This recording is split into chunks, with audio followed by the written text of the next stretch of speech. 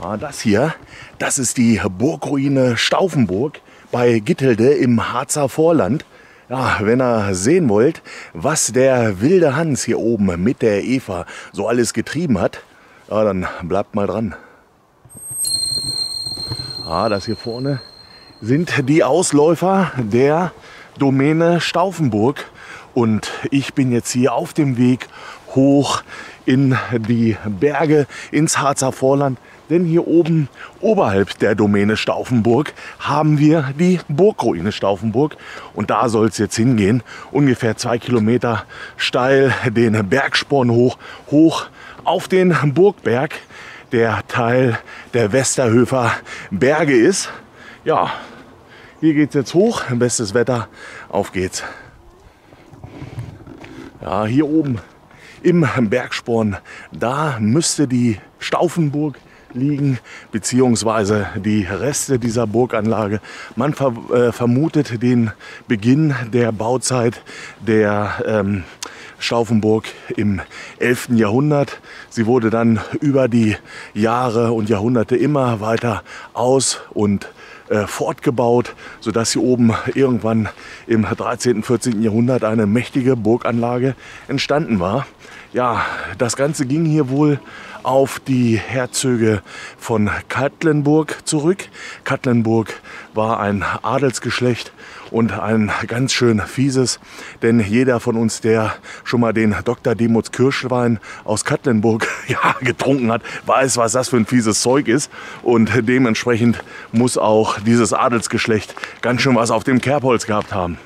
Jedenfalls die Herzöge von Katlenburg, die haben hier oben die Wallanlage oder die Burg errichtet zum Schutz von äh, Gittelde hier unten im äh, Tal, weil dort Bergbau betrieben wurde und dieser Bergbau sollte vor Angreifern und Plünderungen geschützt werden. Ja, und auch des Weiteren verlief unten im Tal ein Wirtschaftsweg Richtung Norden und auch von äh, hier oben sollte dieser Wirtschaftsweg ja beschützt werden. Deswegen hier oben auf dem Bergsporn die Stauffenburg. Ja, ich denke mal, jetzt noch so guten Kilometer, aber jetzt geht es erstmal steil nach oben. Ja, die Burgruine Stauffenburg hier hat eine wirklich lebendige Geschichte. Viele unterschiedliche Funktionsweisen dieser Burg hier oben. Von ja, Krankenstation über Gefängnis und Witwensitz ist so ziemlich ja, alles dabei. Interessant wird's ab dem Jahre 1492. Da hat nämlich Herzogin Elisabeth von Stolberg hier oben ihren Witwensitz gehabt. Und Herzogin Elisabeth von Stolberg, die hat den Sohn Heinrich den Älteren von ähm, Braunschweig-Wolfenbüttel und noch einen jüngeren Sohn, Heinrich den Jüngeren von Braunschweig-Wolfenbüttel. So, und dieser jüngere Heinrich, auch der wilde Heinz von Wolfenbüttel genannt, der hatte ein Verhältnis mit Eva von Trott. Und das war eine Hofdame der besagten Herzogin Elisabeth von Stolberg. Also sehr interessant. Und als dieses Verhältnis dann bekannt wurde, da wurde quasi die Eva von Trott vom Hof gejagt, in Anführungsstrichen. Und so zog sie von dann, eigentlich sollte sie nach Hause zurückkehren.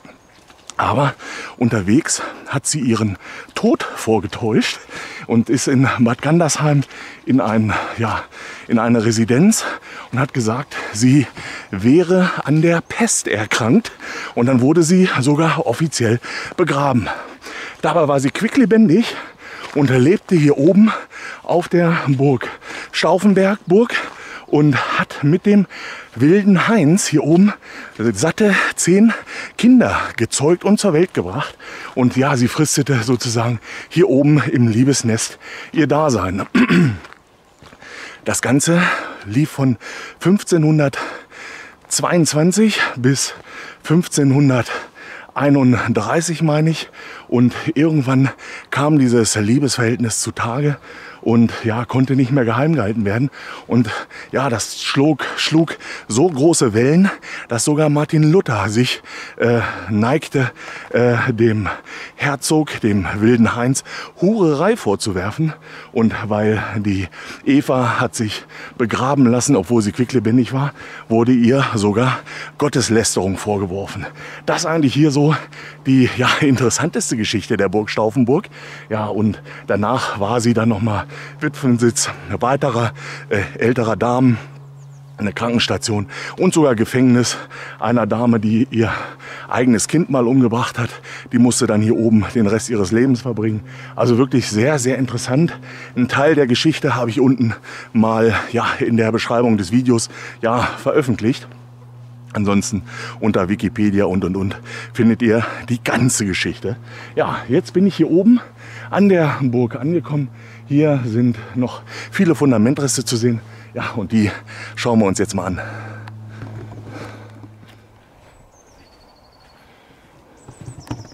Ja, wir haben hier gleich am Eingang einen runden Turm, ungefähr vier, fünf Meter hoch, mit Schießscharte. Drauf war vorher äh, zur aktiven Zeit der Burg vermutlich ein Holzgebälk. Äh, also dieser Turm war wesentlich höher. Aber man muss sagen, die Burg Stauffenburg hatte irgendwann ihren Sinn und Zweck verloren.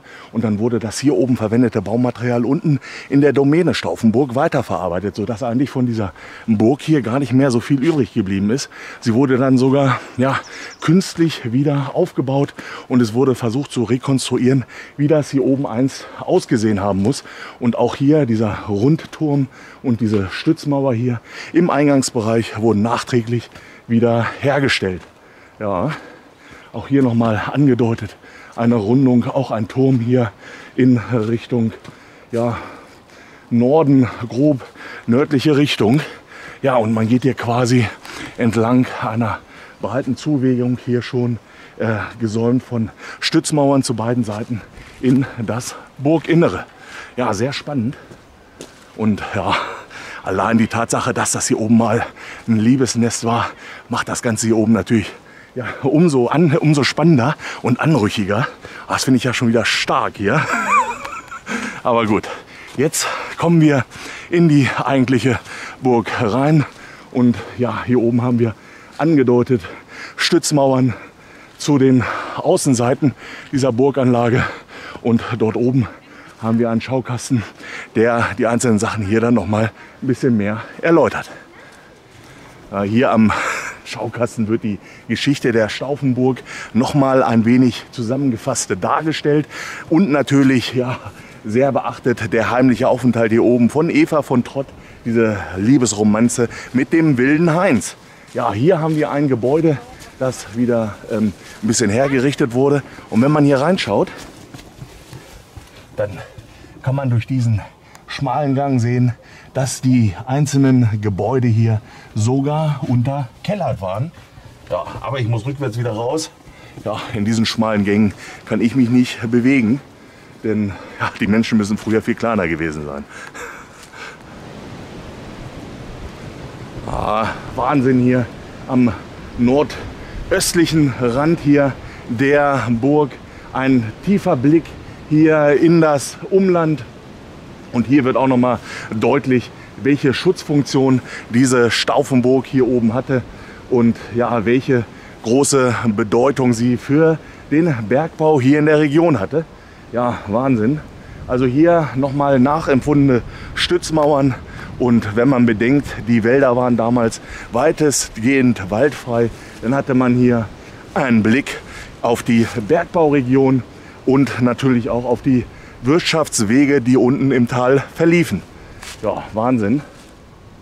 Ja, ich denke mal, schauen wir uns hier diese Burg noch mal kurz von oben an und dann wollen wir noch mal die Eva Linde besuchen.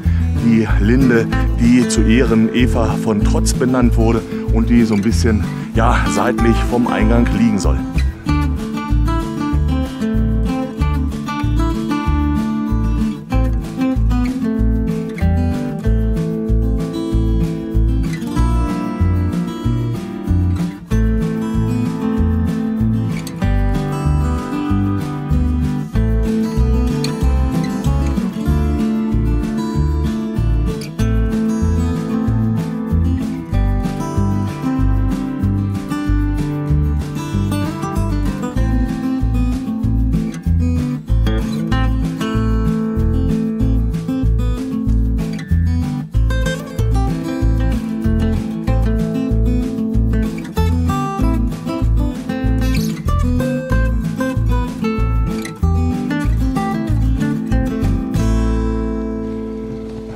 Bin jetzt hier an der Eva-Linde angekommen, die hier zu Ehren Eva von Trott äh, äh, gepflanzt wurde und an ihr ja, heißes Leben mit dem wilden Heinz von Wolfenbüttel erinnert.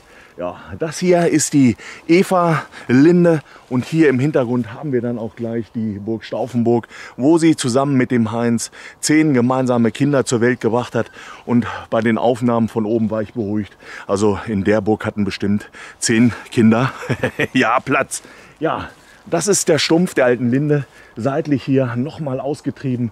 Also wirklich ein ja, Wunder, was die Natur so alles ja, fabrizieren kann.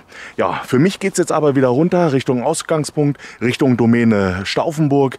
Aber bevor ich jetzt wieder den äh, langen, glitschigen Abstieg äh, wage, möchte ich hier nochmal einen Sprödistein auf Reisen schicken. Hier an der ehrfürchtigen Eva-Linde.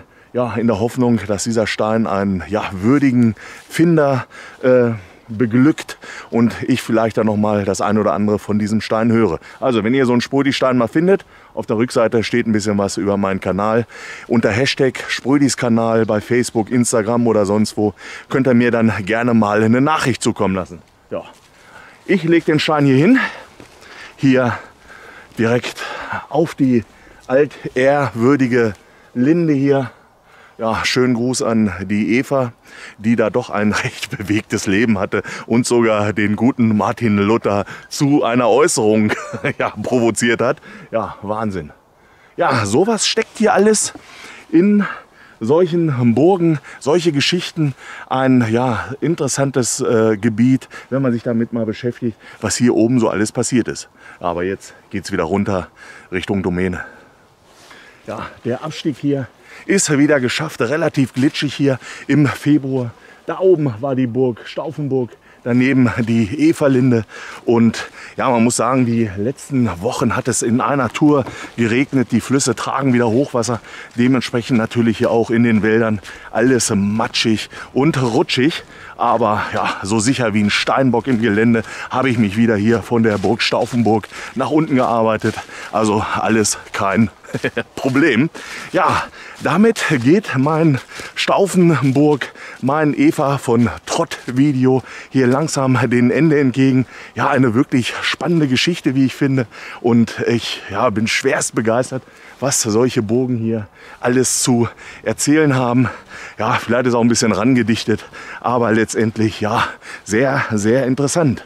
Ja, hier in der Nähe haben wir die Burg Wohlenstein bei äh, Engelade oder Bilderlahe. Und diese Burg ist auch eine alte Ruine oben auf einem Bergsporn. Auch da habe ich schon mal ein Video drüber gemacht, habe ich euch hier gleich mal verlinkt. Die Burg Wohlenstein.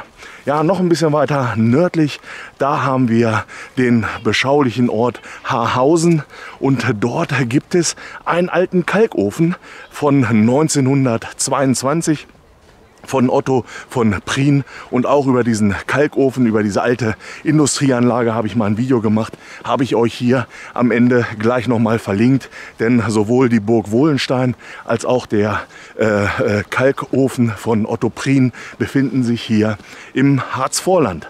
Ja, Schaut mal durch meinen Kanal, viele tolle weitere Wanderziele erwarten euch da aus dem Weserbergland, Leinebergland, Kahlenberger Bergland und mittlerweile auch hier aus dem herrlichen Harzvorland. Schaut mal durch, lasst euch inspirieren, schreibt ein paar nette Kommentare, Daumen nach oben, Abo dalassen, Glocke abonnieren, das ganze Paket. Das macht mich glücklich und bringt meinen Kanal langsam aber sicher nach vorne. Ja, ansonsten sage ich schönen Dank, dass ihr dabei wart und mit mir die Abenteuer von Eva von Trott und dem wilden Heinrich miterlebt habt. Ja, ich sage Tschüss, euer Sprödi und zum Schluss noch mal ein paar Impressionen von der Burg Stauffenburg ja, aus der Luft. Macht's gut.